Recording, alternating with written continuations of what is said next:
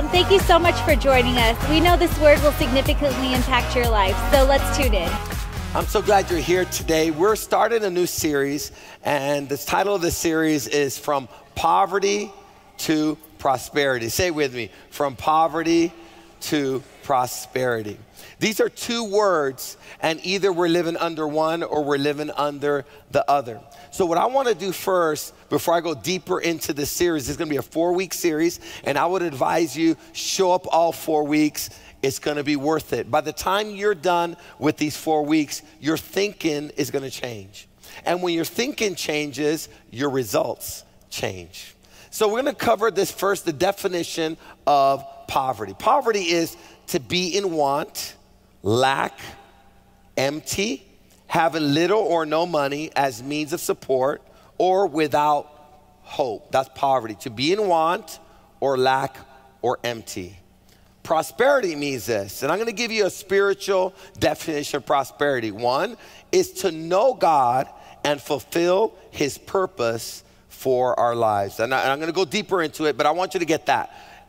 Prosperity is to know God and fulfill his purpose in our lives. That means that you could have all the money in the world, but if you don't know God and you're not fulfilling His purpose in your life, you are still in major poverty. But it goes deeper than just that, which is the most important thing. But let's go, let's talk about some other definitions of poverty. It says succeed in reaching. That means you're prosperous when you're setting goals, you're getting visions from God, and you're actually accomplishing them. So God doesn't just want you to start this race, He wants you to finish this race. Any struggles you're going through right now, God doesn't want you to get stuck in the struggle. He wants you to overcome the struggle, be more than an overcomer, and then help others overcome. Do you understand that when you're going through a tough time, it doesn't end with you? There are other people that are on the other side of your trial your tribulation or the wilderness experience you're going through. You overcoming is going to help other people overcome. This trial isn't just about you. This difficult season just isn't just about you. It's for you to overcome and help others overcome. That's called prospering. But prosperity also means to succeed in business. God wants us to succeed in any business activity we're in. It means to grow, to thrive, to increase. That means your best days are still ahead of you. It doesn't matter how old you are, so oh, my best days were behind me. It's not true. God knows no age. Your spirit doesn't get old. God says your best days, your increase. God wants you to thrive in your future. You got to believe this stuff because God's preparing us for more. But it also means an, it means abundance. I mean, it means abundance or have a desired result. It means to be successful, fortunate, even in fi- especially in financial aspects. Now, God does want you to prosper financially as well. I looked in the scripture for the word poverty, and I 90% of the scriptures were giving us instruction to do one thing 90% of the scriptures that talked about poverty were given instructions for the church or the people of God to do one thing. And this is what it said about poverty or the poor. It said this take care of them. What did it say? You'll read in scripture over and over that our ministry is to take care of those that are lacking, don't have enough, are empty. So we have an assignment to take care of the poor. So that means if God's given us assignment to take care of the poor, we must not be part of that group. We must be part of another group, and it's called the prosperous. The prosperous take care of the poor. So, right now, if you're in this room and say, Pastor, I'm really poor, I have really good news for you. God wants you to prosper from poverty to prosperity, and it can happen as you start believing what God has already given you. Someone say inheritance. I'm going to read you a scripture here, and it's in Second Corinthians 8 9. And this scripture is good news. And the good news about the scriptures is that Jesus came to deliver us from every form of poverty and give us prosperity. He came to deliver us from every form of pros- uh, poverty and give us prosperity. Pros- uh, poverty doesn't come from God. Abundance and prosperity comes from God. That means when God is leading you, He's leading you to prosperity. He's never leading you to poverty. Second Corinthians 8 9 says this You know of the love and favor shown by our Lord Jesus Christ. The scripture is saying you should know something about the love and favor. Love and favor is another word for uh, another word for that is grace. You know about the grace of God. This is what it's saying.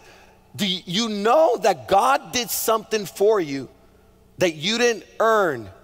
He gave it to you because he loves you.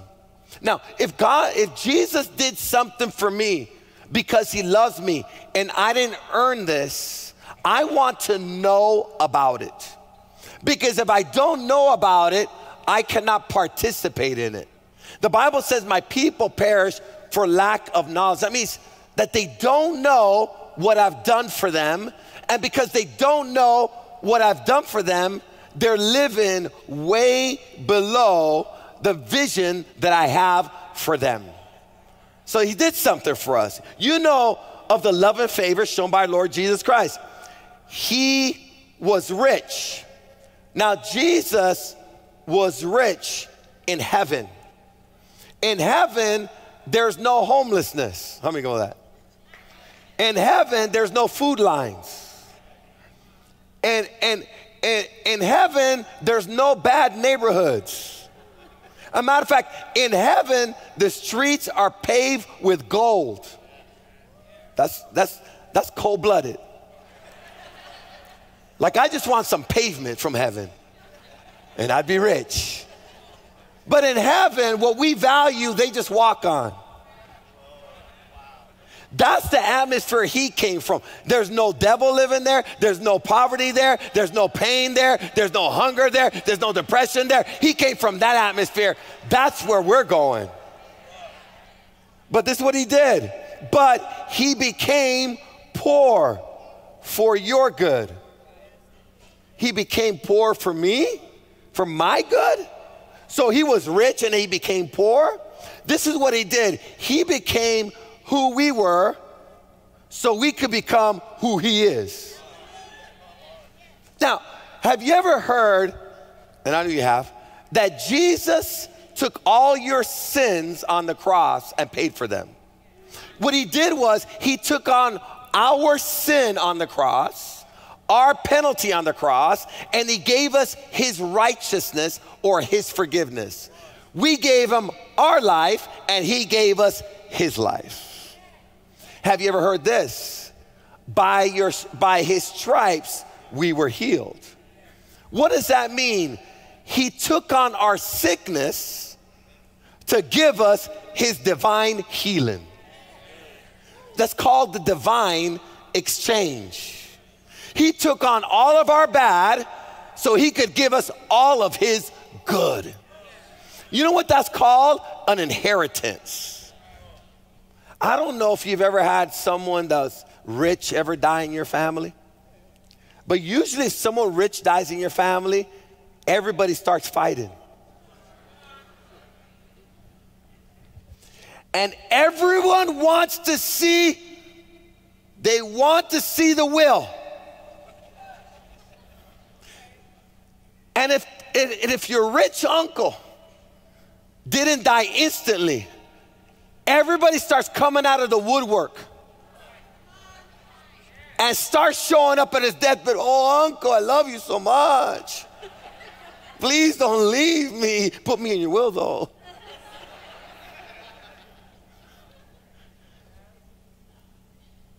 People are showing up because they want something that he has. Didn't see uncle for 10 years. But my favorite uncle's dying. And he has a lot of money. I want to be included on the will. You would check it after he dies. If he told you that he left you a brand new house that was worth a half a million dollars, you'd want to look at the will. And if you loved your uncle, you love him, but you still want to know about the will. Why am I talking about this? Your Lord and Savior, He died, but He's alive but he left you his will. It's called the New Testament, his last will and testament. And he's saying, Church, my daughters, my sons, I've left you promises that you can cash in on if you just read my will.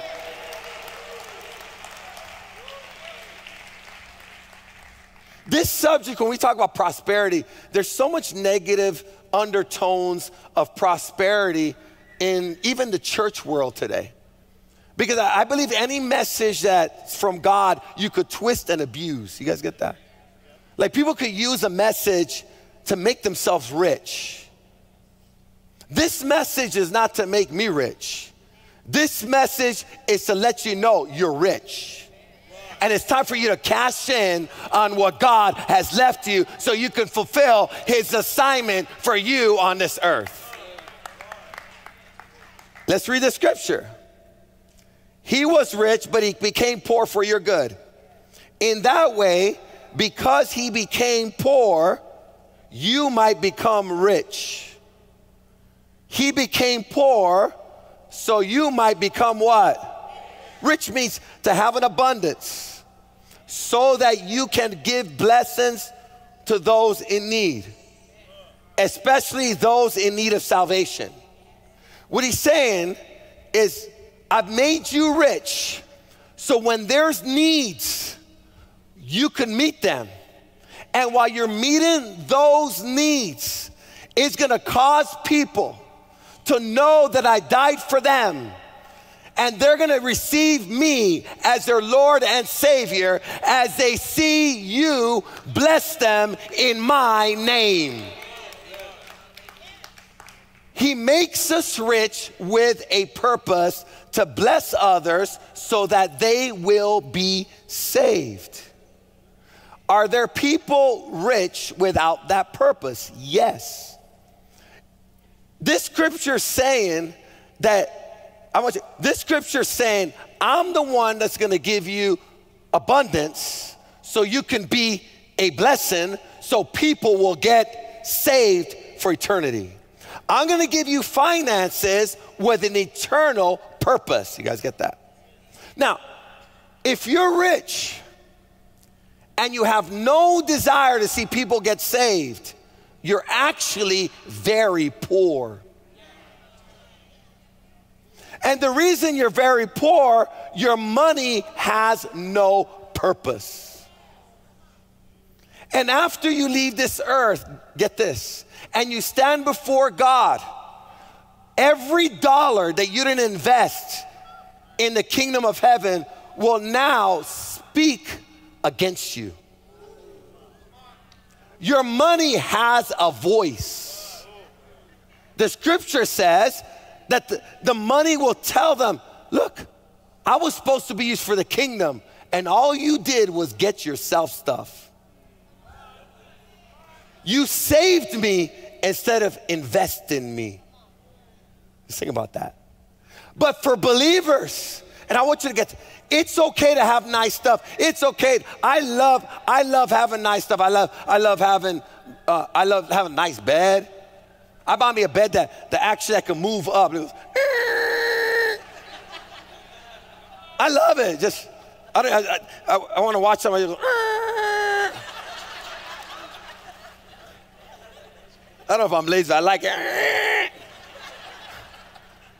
They have a zero gravity one. You put and it puts your legs up, and you it's supposed to perfect rest for your back, and like. so I like having nice stuff. I love cars, and I, I love to eat good food. Anybody like to eat good food? You know, I don't want you to feel guilty for eating good. Eat good. But while you're eating good and you're living good, don't forget about those that aren't eating good and aren't living good. It's okay. We can have both. Right? So Jesus said, I've made you rich and I've given you abundance so you could be a blessing, especially to those that need salvation. Rich. Okay. The Bible says this let the poor say, I am rich. Say with me, I am rich. Why is it important for you to confess that over yourself? Because it's part of your inheritance. Jesus already paid the price of the curse of poverty over our lives. Poverty is a curse. How do you know it's a curse? Because no one is impoverished in heaven. You guys get that? Let's keep going here. I'm going to tell you about four types of poverty. Four types of poverty. The first one we all know about. It's called financial poverty. This is the most popular poverty that is recognized.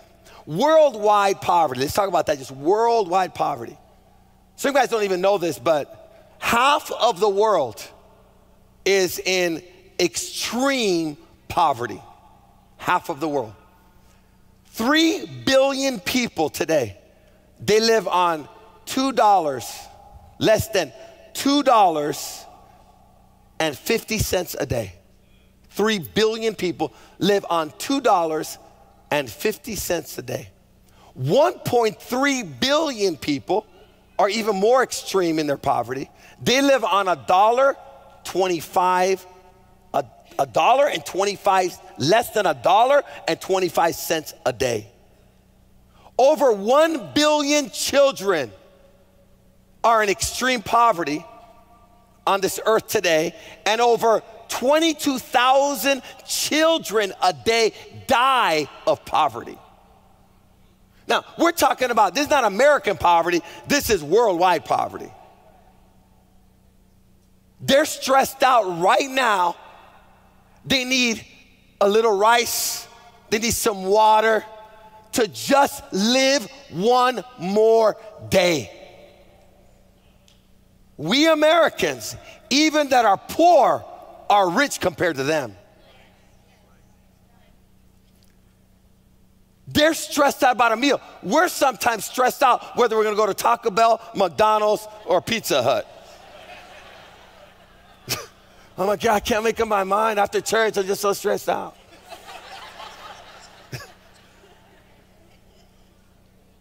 We're stressed out when we go to Cheesecake Factory and the menu is too big. I can't even decide what I want. It's just stressing me out. We're so rich that we got houses for our cars. It's called a garage. People are living in, in shacks, no running water. And, and then you show them your garage and you say, What? And they say, What is that? That's a house for my cars. A house for your cars. Yeah, and I don't even have my cars in there because I got too much stuff. so it's just my extra stuff that I don't ever use. I just keep it in there. Come on, that's America. We're so rich that we go to dinner and people come serve us. And there's somebody cooking for us in the back. We're rich. We just ordered them with that. They said, I want medium well, please.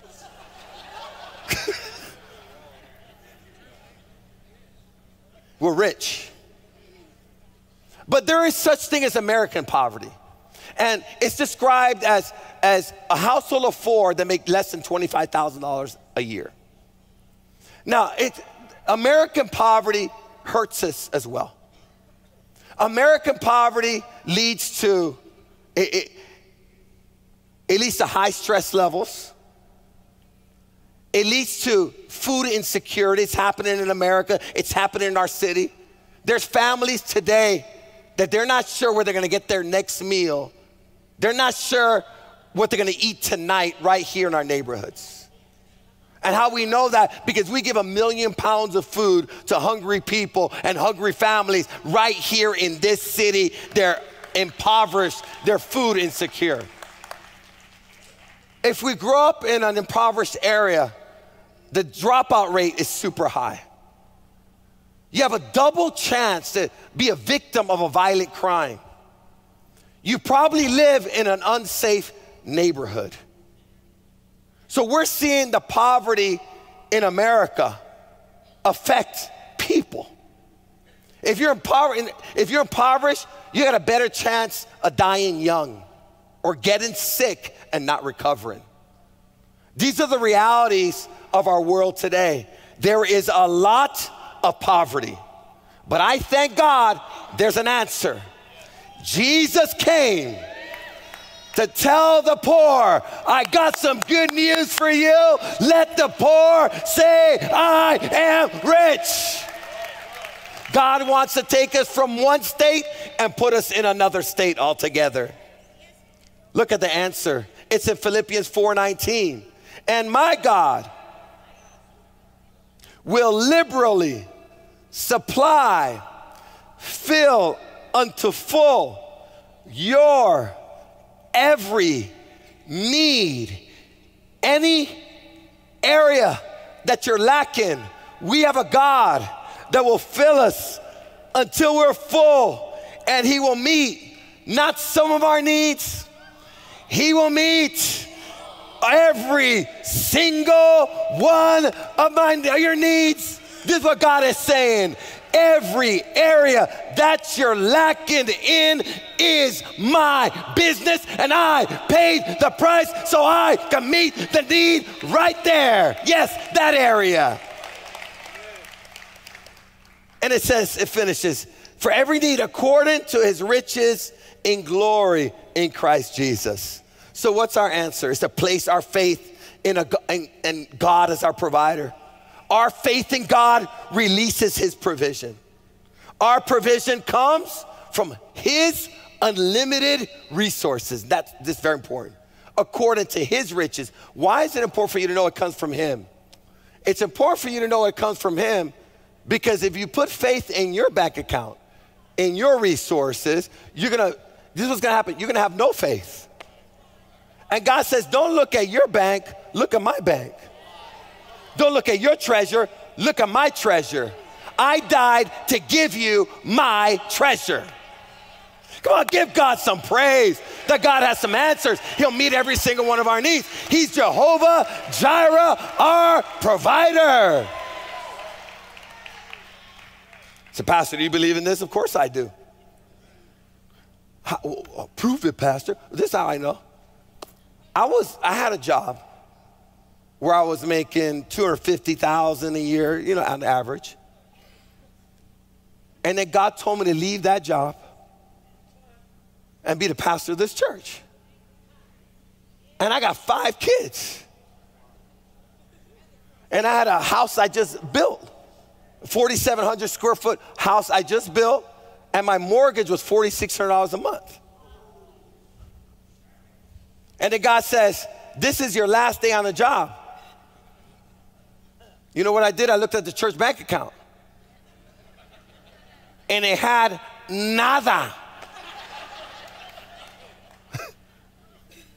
the truth was, it was the worst timing. The week before that, this is bad. This is how bad it was. We bounced some checks. We were writing checks by faith.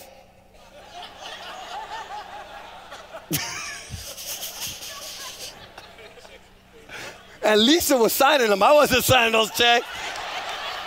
That's what, serious. You, I tell this was really happening. It never happened again, but it happened then. Because it takes faith for God to be your provider. You, you know what's crazy about this? Because she wrote a few bad checks that I told her to write. I go by faith on it. Boy, noise it come in, it come in, it bounced. Boom, boom, boom, boom, boom, real bounce. Bouncing real high. you, it was worse than that. They, they, she got like a ticket. And, and, and what they, they sent her to a class. How to budget. I go, Liza, you better go to that class. You better bad, bad checks and junk. that's, a, that's bad news, right? Right in that time, God says, leave your job, and I want you to be a full time pastor of the Way World Outreach. And I remember I told Liza that, that what God told me, and then she says, if God told you, go do it. And I'm like, hold, I'm a, hold on, hold on, wait a minute, hold on.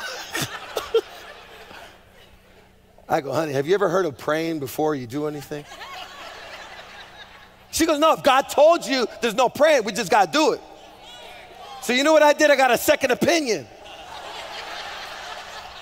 I called my mama up. And she was in Florida. I go, Mama, this morning, the Lord told me I need to leave my job and be a full time pastor of the way. And she goes, Son, pray and get confirmation from the Lord. I go, Mom, you're so spiritual. I love you. but then my dad, he's sitting back over there. My dad, he said, What did Marco say? He said, Well, God, he said, know, she goes, um, He said that God told him to leave his job and um, he's been full time pastor of the way. He goes, Could I have the phone? So my dad gets on the phone. He goes, So what, what, what, what happened?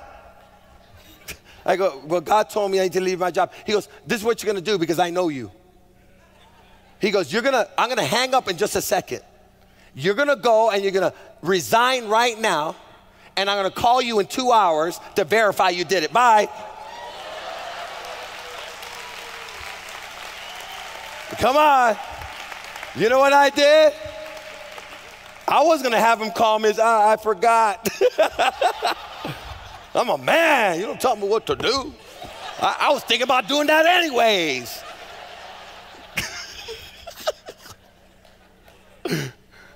so I went down there.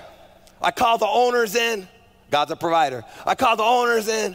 I go, look, man, today's my last day. And you know what I was doing? I was crying.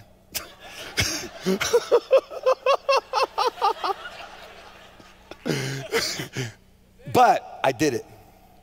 They offered me, this is what they offered me. He goes, Marco, why don't we do this? We'll ease out of it and we'll just, we'll offer you $10,000 a week, a month, and you just come in and train for us, and then we'll help you with that transition. I go, that sounds good, but that's not what God told me to do. He goes, and they go, you're crazy. I go, I know. but you know what happened?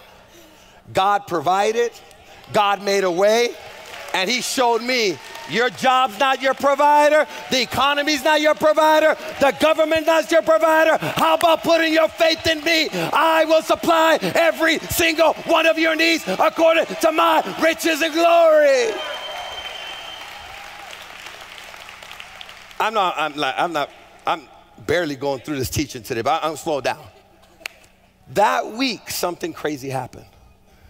I remember that week I left the job and in my house and and there's no like unemployment. I quit. There's no disability. I'm healthy. You guys can see.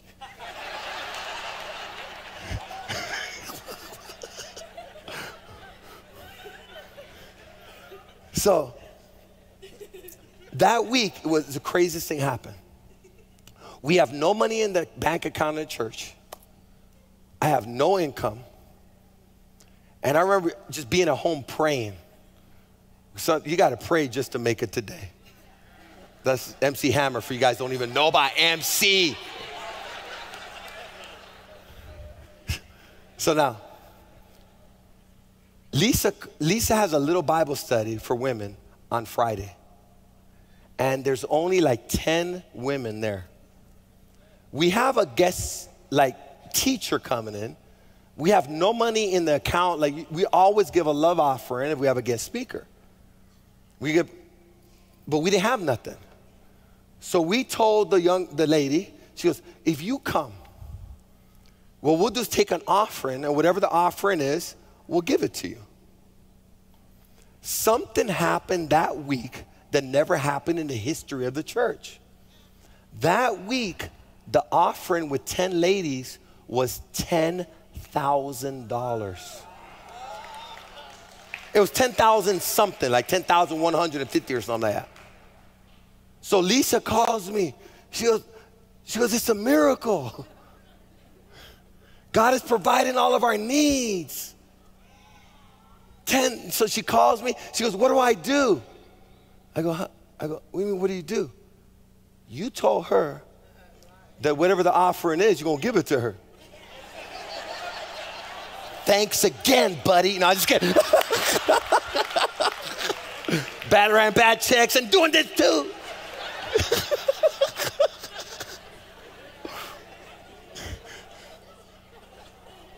so we wrote her a check. I don't even know who the lady is. Never met her, never saw her again. I don't know how she looks like. I go, honey, we got to give it to her. That was the deal. Because, see, what the enemy will try to do, how do you know you're not trusting God? When you try to hustle, you try to cheat, you start giving 8% instead of 10%. Well, you know, really, I'm tithe. How, how you tithe? Well, I volunteer. That's my tithe. That ain't no tithe. If everybody did that, we couldn't even keep the lights on here. I mean, understand that when, we, when we're not trusting God, we get a little sneaky. So I go, no, honey. I go, you got to give her the whole thing. So wrote her a check for ten thousand dollars. I never got a thank you card. I wasn't expecting one, but I maybe I was expecting. Said, "No, thank you,"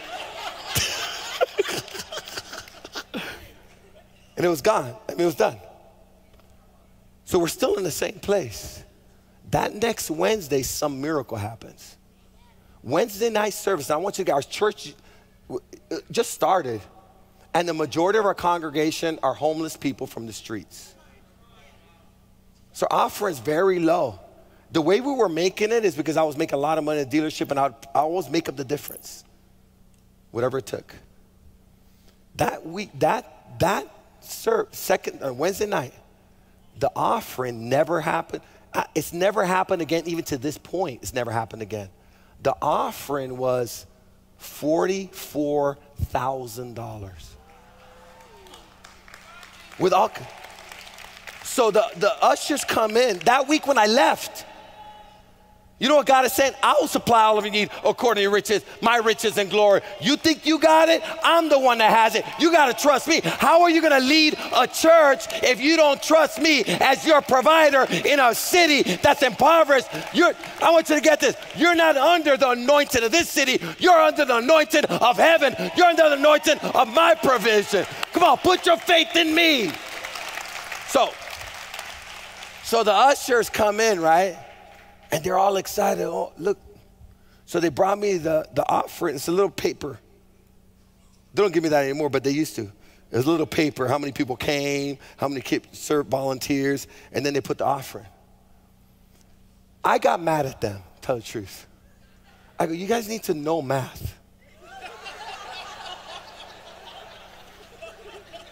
because that frustrates me a little bit. When someone says it's 44,000, it's actually 4,000 that just the commas in the wrong place. So like I was like, come on, you guys need to know math. It's 4,400, not thousand. and they said, no, it's 44,000. A lady gave $40,000. Well, I found out that that's, that Friday she gave $10,000. But we don't know who she is. We've never heard of her. God sent her to the church that week when I was willing to follow God's instruction, leave my job. Now, understand, that money doesn't come to me, but God was saying, I'm taking care of my church. I'm taking care of my people.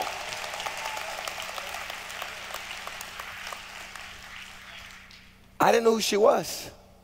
The next Wednesday, she gave another $40,000. We're talking about $90,000 that week when I left, and I don't know who she is. And no one knows who she is. In that building, we used to have like a basement was like a dungeon. Or downtown campus. It was like it was like a dungeon. It was like below sea level. I remember I remember giving Susie her first office. And it wasn't an office, it was a, Susie, our children's pastor. We didn't have no room. I gave her an office, it was a closet.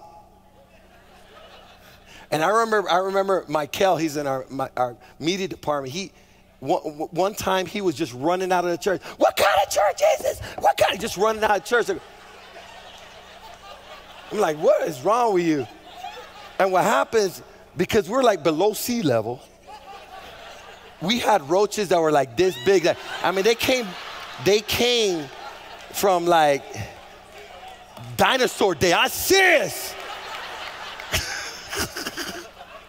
big like this. So he's like, what kind of church is this? you would hate to go to the bathroom there because you would always have a visitor. Like Liza would never go to the bathroom at our downtown campus because it was crazy. I'd make altar calls and roaches would come too, and I'd be like,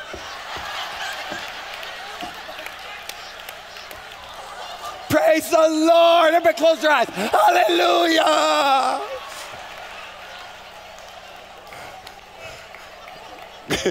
it was, I'm not exaggerating, that used to happen. I, there'd be roach. Uh, come on, everybody, let's dance for the Lord.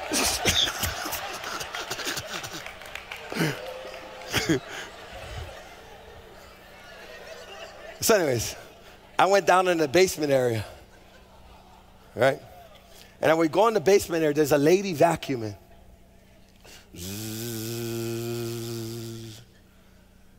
And I'm walking by her, and then I stop. I'd never seen her before. I go, ma'am? I go, I've never seen you here. Have you been here for a while? She goes, I just came last week. I go, what's your name? She gave me her name, but it still didn't match up with any name that was coming. I and I go, what brought you here?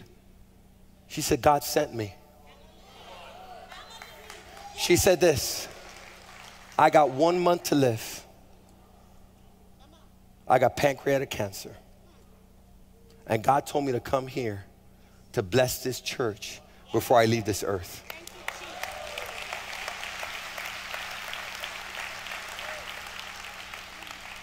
She goes, That's why I'm here. And lo and behold, it was like three or four weeks later, she was gone.